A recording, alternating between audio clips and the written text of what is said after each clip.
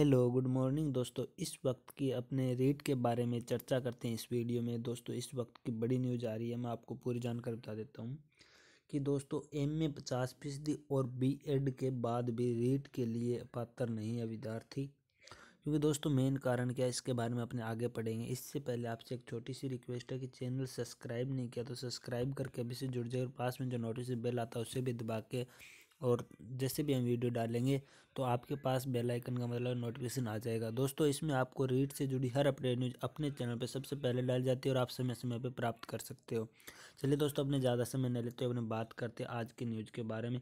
तो दोस्तों, Rajasthan news network के न्यूज़ है जयपुर से तो प्रदेश के विद्यालयों में तृतीय श्रेणी शिक्षक के लिए आयोजित होने वाली राजस्थान अध्यापक पात्रता परीक्षा में कई विसंगतियाँ शामिल है। दरअसल इकतीस हज़ार पदों पर रीट का आयोजन 2 अगस्त को प्रस्तावित है। शिक्षा रा, राज्य मंत्री गोविंद सिंह डोटासरा भी उक्त विसंगतियों को दूर करने की बात कह चुके हैं। साथ ही कांग्रेस के घोषणा पत्र में उन्हें दूर करने का ज़िक्र था। मामले को लेकर शुक्रवार को कई विद्यार्थी डोटासरा से मिले।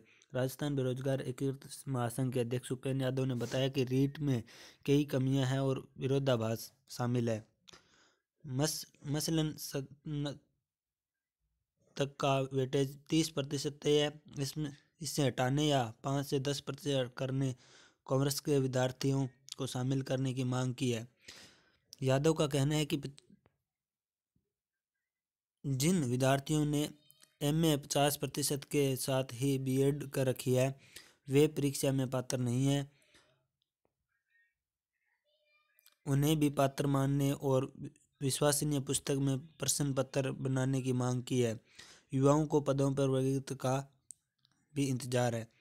ठीक है दोस्तों, यहाँ पे देख मामले में अभ्यर्थियों ने शिक्षा मंत्री को ज्ञापन सौंपते हुए यहाँ पे पिक दी गई है। ठीक है दोस्तों, जो भी आगे की अपडेट होगी तो अपने चैनल पर डाल दी जाएगी। थैंक यू दोस्तों, मिलेंगे नेक्स्ट वीडियो में। Okay, bye.